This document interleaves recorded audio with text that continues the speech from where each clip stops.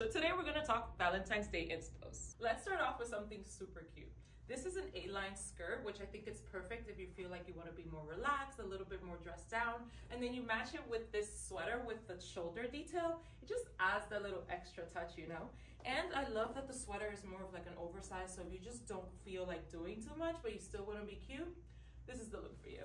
Let's kick it up a notch. This is the Raquel dress, and this is to die for. So if you're thinking like a cute dinner with Bay, look at the back.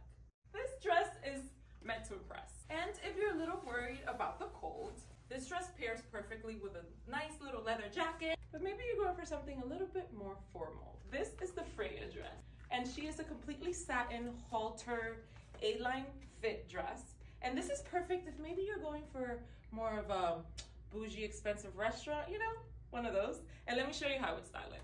Pair it with our double-breasted hazel coat and add a little touch of silver